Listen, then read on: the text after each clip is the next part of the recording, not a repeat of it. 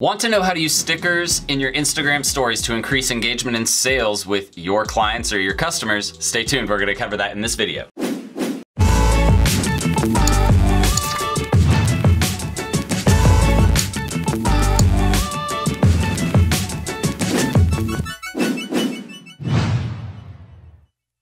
Right, everybody, welcome back. My name is Jordan Steen, also known as Cereal Entrepreneur, and at this channel, we talk all about starting a marketing agency, a personal brand, or really building any kind of online business. So if you're interested in any of those topics I just mentioned, then you're gonna wanna make sure you hit that subscribe button and the notification bell in the bottom right-hand corner of this video, because that's how you're gonna get notified with all of our new content, our free giveaways, our guides, our templates, everything else that we do here at this channel. So Instagram stories are really a cool way to get people to engage with your content without it seeming like it's salesy, right? It's gonna get them engaged because there's different types of stickers that you can use in different situations. And we're gonna give you some examples today. We're gonna go on screen on my phone and actually show you some of these stickers and how can they how they can be used in action. But you want to know that you can use these stickers to get people to engage and that's gonna build your community and the people and how they communicate with you, how they reach out to you. And this is ultimately going to what? Increase your organic reach, which is going to allow you to reach more people without having to spend a bunch of money or any money at all because it's organic. So on Instagram, they've actually built a bunch of cool stickers. You have like a poll sticker, you have the rating sticker where you can drag the face and on how much you love it or don't like it.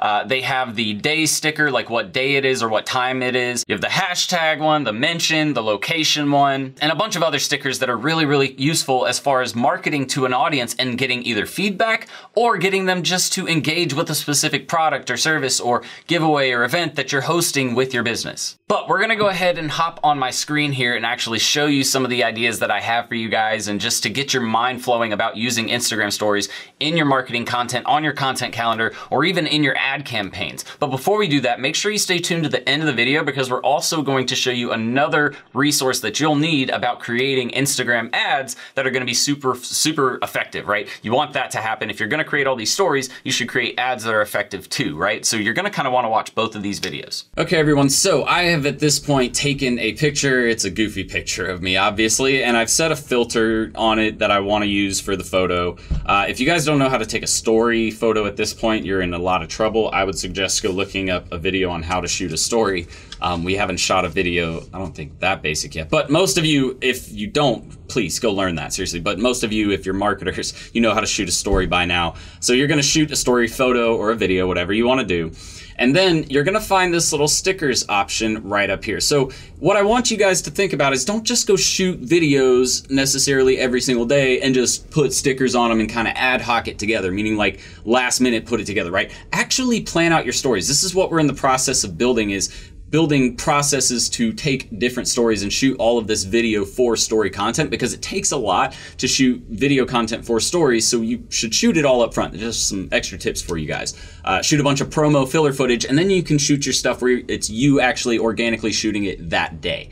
Uh, it's it's too hard to shoot a bunch of different videos all day unless you're always on your phone and on that platform. But then to take that same content and translate it to other platforms, you need a plan in place, right? If you're going to use Snapchat stories, Facebook stories, YouTube stories, everybody has a story now.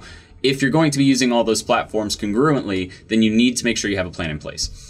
Uh, but once you get your photo taken and you have your plan in place and you know what sticker you're going to use, you're going to come up to this little option right here, this little happy face, not this one. You're going to come over to this little sticker looking face. You're going to click on that and it's going to bring up all of your different sticker options. So location, mention, hashtag, a time. You can do a poll, GIF, questions, a countdown, a rating bar, temperature. You can take a photo for a sticker. You can do a Wednesday uh, or what day it is. You, all of these different Wednesday icons, right?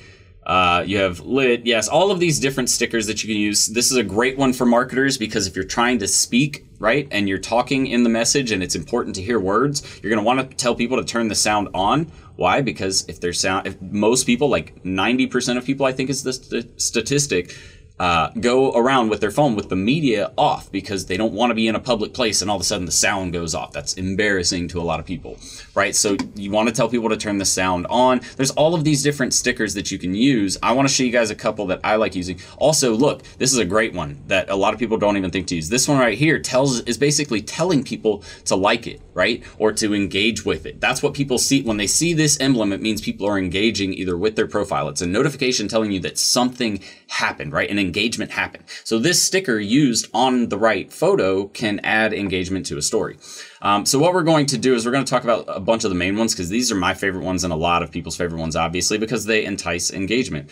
So what we'll talk about first is the question one. So the question sticker is really cool. You just click on it and it's going to add it to your post. Then you can even type in a specific question you want to be asked. I can ask that and tell people or tell people basically to respond to my question. Then I can actually click on it and move it around the screen. It's a little harder because I'm doing it on desktop instead of using my phone to do it.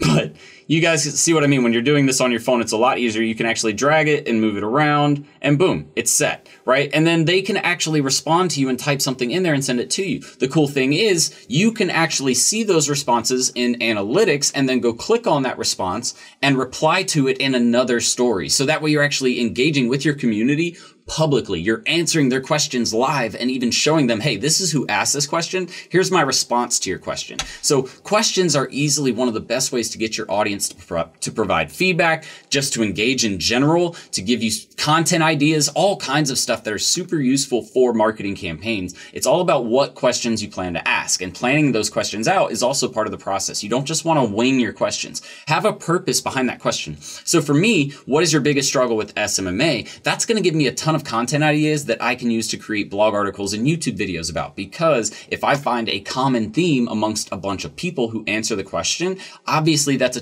topic that people want to know about, right? So this is using these engagement features basically to find new content ideas and to get feedback from your customers, which obviously is going to make them happier, right? Which means you sell more and engage more with your, your audience. So quick question for you guys. Have you used the question sticker either on your personal profile stories or any of your clients or your business profile stories before?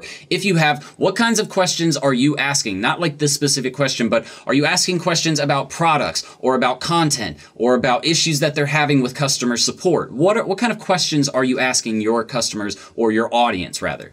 So the next one, guys, that we're going to talk about, and I'm going to do this from my phone because it's actually a lot more responsive when I do it from my phone. But the next one we're going to talk about is the poll. And this is great when you're trying to get feedback on one topic or another, or whether you want to launch a new product or not, uh, whether you should improve a service or not. Really, just again, getting more feedback from people. You don't even have to. Uh, I gave the example of using the question to get feedback, but you can use it in several different ways, right? It doesn't have to just get be about getting feedback from uh, a customer about a product or service. It can be about just about anything that would be relevant to your audiences. So asking a question and then allowing people to respond yes or no, what they think about that specific topic or issue or product or service. Now, another great one is going to be the rating bar. If you click the sticker, you'll see the little rating bar right around, I'll pull my mouse over, right around here is the rating bar, right? And you can actually add that to your page and you can even add a question if you like. You can see you can add a question and ask them to rate the question uh, to get feedback. This is, again, another way to get feedback. Or you can do something like a lot of restaurants or people who have uh, things that are visually appealing, like houses, things like that. They can post them and use this rating bar, kind of twist it off to the side and put it on here and say, what do you think about this? You could even add text separately and say, what do you think? Right?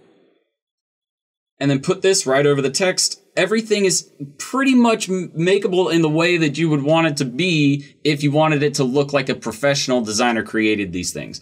Instagram is making it to where the average user can make their things look just as flashy as if a designer were to create it themselves, like a professional designer, right? Obviously, a designer has a much more ability than someone just using a camera phone and putting in the little emojis and the text. But you guys get what I'm saying. It makes it to where it's a lot more engaging. No matter who is using this platform, it's going to make it engaging if you use it the right way.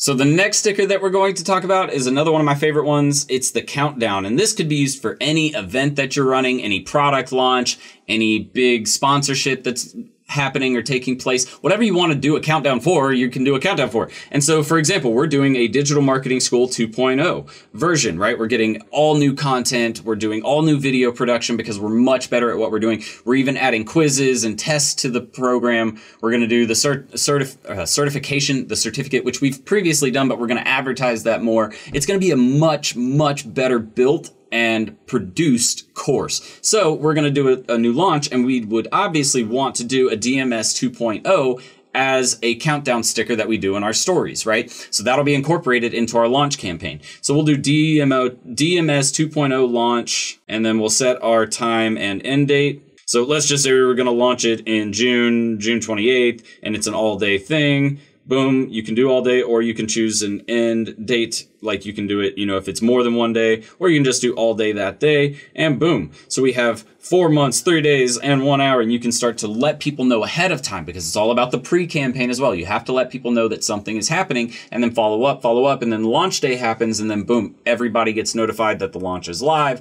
and then all of these people start to create this organic engagement around your content, and boom, tons of more sales start flooding in. But this is a great way, again, to engage people in your stories and to get them to start buying products. It's all about how you incorporate these stories into your campaign. If you're not thinking about these options and saying, okay, we need more stories, we have a campaign for this coming up in two months, or we're thinking about doing this huge restaurant event in a month, we need to start thinking of how we can incorporate stories and countdowns, not only in our Facebook posts and our Instagram posts and all of that, but in our stories feeds and everything like that, because this is where people are at, and it's actually much cheaper to advertise here currently and in Messenger. So take, take advantage of where opportunities exist. It's going to make you happier because your customers will be happier. Oh, and are you thinking about starting a personal brand in 2019? Maybe a YouTube channel or starting a blog or starting an e-commerce store where you sell products that are related to something that you love? If you are, then you want to check out this video we put together in the top right hand corner. I'm telling you guys, this is one of the most lucrative niches out there, getting into blogging and YouTubing if you know and understand how to create content. So using a mention sticker is the last one I'm going to talk about because people don't do enough collaboration and I feel like it's because they don't know the right ways to do it and they don't understand the benefit. Collaboration is easily one of the best ways that we get our, our brand and our name out there and that's one of the best ways you can do it with other local businesses as well for either your clients or with your own agency. So to do a simple collaboration, all you have to do is do a story with a mention. As you can see, I put my buddy Ruan Marino. What's up, Ruan? I'll make sure, I know you're going to probably see this video later, so what up? Uh, but I'm adding my buddy Ruan in here because he and I do content together all the time, and I'm making it about creating a video on using stickers in, on using stickers in, what I should do is put on IG and then mention sticker. So you guys can see anybody can take this and make it like decent looking. I'm not a designer. I never have claimed to be, but I can take something simple like this and make it at least more engaging than what I could if it was just me taking a photo and not having these options to play with stickers. So I'm just going to mess around with this here, get it to where I would want to sit, and then boom, that's it. Then I would add this to stories and that's it. It's out, and wow, that's a weird thing to see once you get done adding to stories, so we're gonna close that out. All right, so, but you guys get what I'm saying. Mention stickers are very useful.